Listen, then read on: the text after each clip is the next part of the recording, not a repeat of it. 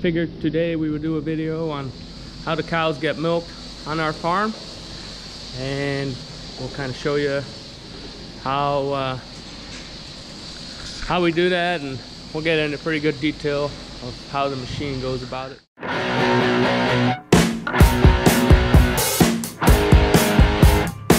But first thing you should know, we milk with uh, robots, so robotic milkers. And pretty much what that entails is we have four boxes like this. And while the cow is in that box, um, she's getting milk. And pretty much cows roam freely and they choose when they want to go into this box. And as you can see, they're actually standing in line to be milked. Every cow wears a collar. And there, I don't know if you can see it there around her neck.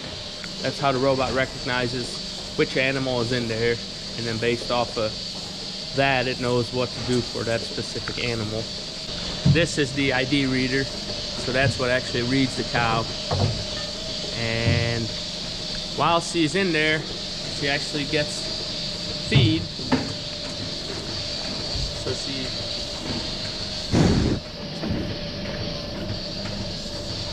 So while she's getting milk, she's getting feed.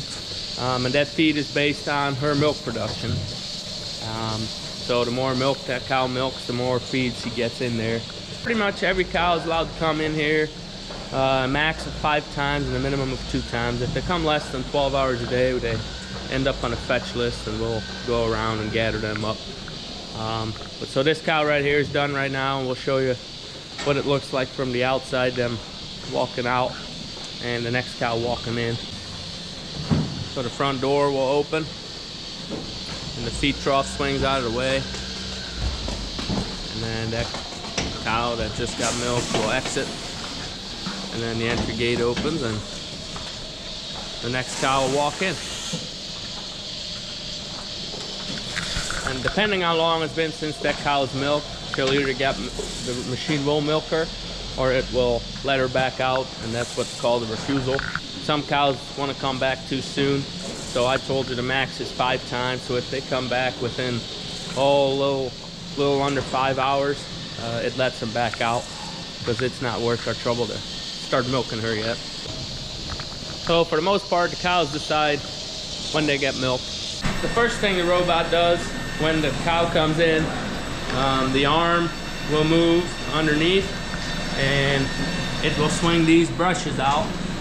And these brushes uh, get sanitized and cleaned and it will go underneath the cow and it will clean the teats off. In addition to cleaning the teats, it ends up uh, stimulating the, the udder of the cow, which ends up releasing oxytocin. Now that brush is all based on memory, so it's a pretty broad brush, no pun intended.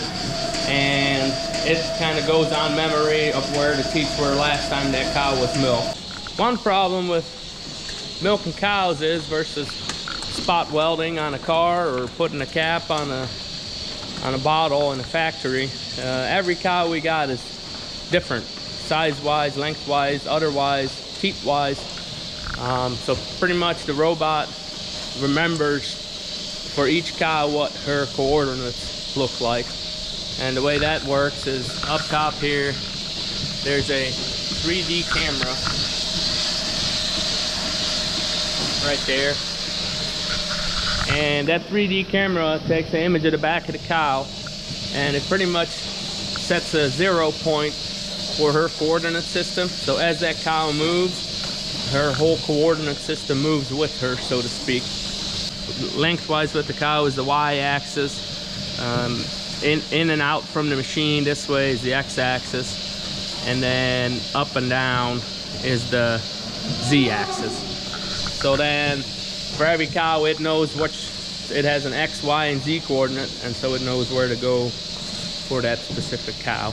After the brushing it will hook up the uh, cup and to do that it will pretty much center the cup underneath the um, So it knows roughly where it is from the 3D camera and the coordinates, and then it uses the laser to fine tune, um, to fine tune where to find that teat. And as it finds the teats it will position its up underneath it there, and it will simultaneously open up the vacuum valve for that specific quarter, as well as release the cord that holds that cup up.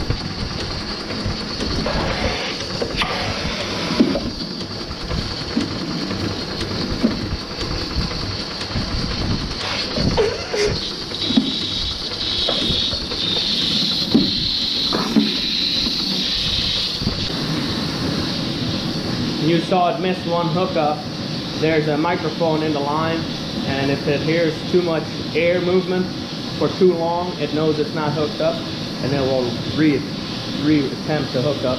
It has a sensor that senses for milk flow, and if it doesn't see milk flow within a certain amount of time, it knows that feed isn't hooked up proper, and it will re-attempt. Um, as the milk leaves the cow, goes into the cup, runs into those hoses, and then it comes underneath the here and these sensors uh, is where the milk passes through and those sensors actually look at uh, milk flow speed and that's how it knows when to take the cups off. And it looks at the color of the milk and if there's any abnormalities it will throw a flag. As well as it looks at the milk temperature it looks at conductivity which is pretty much the salt content of the milk. Um, if the cow has an inflammation to her udder, also known as mastitis, the udder swells up and causes cells and it causes cells to break. And uh, when those cells break, those cells have a higher salt content within them.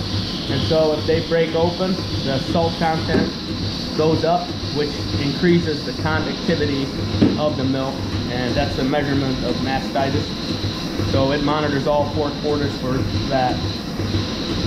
And then as that cow milks, the milk goes in this jar. And this jar is on a weigh bar. Before it pumps the milk away, it weighs how much milk is in there. And it records the milk yield. And so then we have a rolling average for every cow in the herd of what their production is. And then based off of that production, they get more or less feed. Once all the cups come off, it will put on a post dip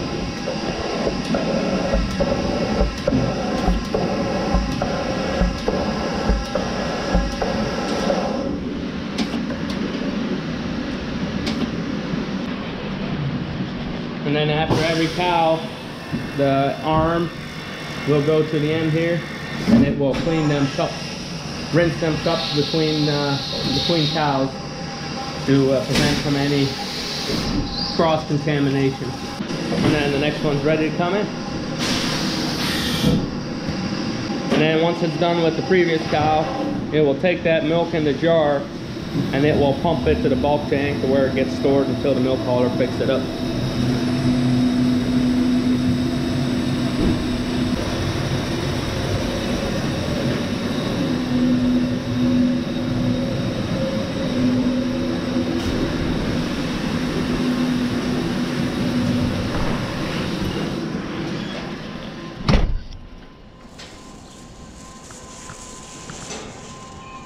So that pumps that all the way up front. I think that's almost, that's pumping like 300 foot, which is about the maximum.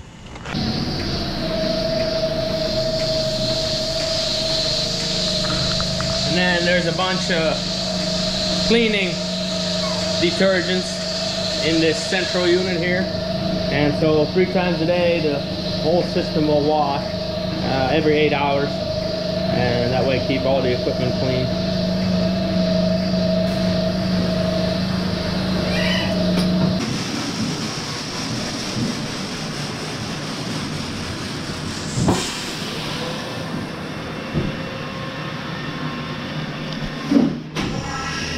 And then twice a day we go through and clean these robots off, hose them off, and make sure everything's working the way it should.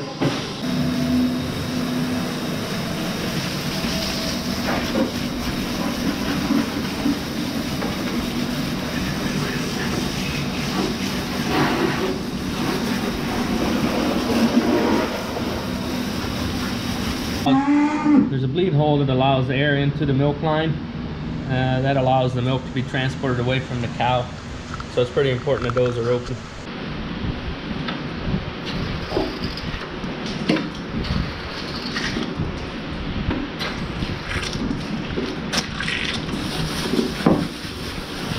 Man, one other thing I forgot to mention. When the cows are in the robot, they're on a scale, so they actually get weighed at every milking. Uh, but while we're cleaning, we gotta make sure we get all the manure out from underneath of there. Else, over time, it will build up and the scale will get off.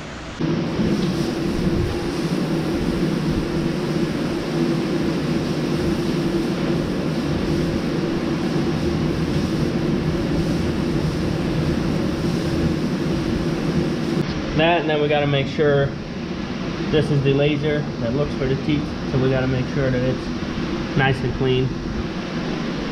And then in the afternoons, we actually use some Dawn dish soap and a brush to scrub down the arm pretty good make sure we get rid of any biofilms that are built up on there.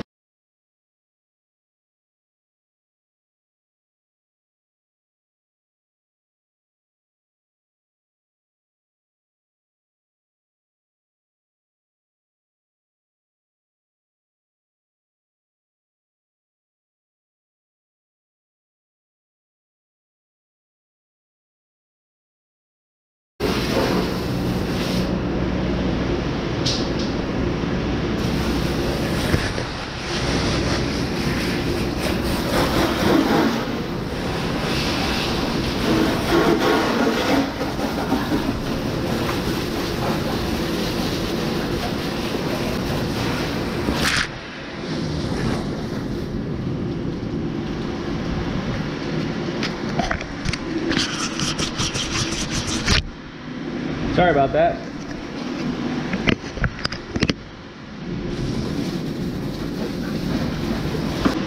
That should be good for another 12 hours, so um, we'll uh, let this next girl in before she runs out of patience.